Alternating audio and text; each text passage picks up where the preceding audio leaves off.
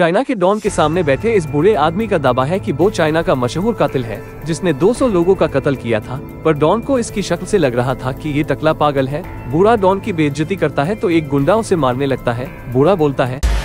जो ये तेरा टॉर्चर है वो मेरा वार्म अप है। हाथ में बिल्कुल दम नहीं है तेरे।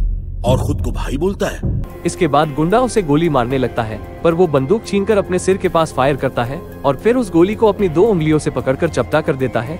इसके बाद टकला अपने एक पैर से बिना ज़मीन को टच करे कमरे के दो टुकड़े कर देता है, जिसके बाद तो माफिया डॉन भी इसके सामने झुक जाता है। दरअसल इस एक्स गैंग के नाम से पूरा चाइना कापता था। क्योंकि डॉन अपने साथ हमेशा 500 लोगों को लेकर चलता था, पर एक दिन डॉन और उसकी गैंग को गरीबों की बस्ती के लोगों ने कुत्तों की तरह दौड़ा कर मारा था। इसलिए एक्स गैंग के डॉन ने बस्ती के कुनफू मास्टर को मारने के लिए इस कातिल को जेल से बाहर निकाला है।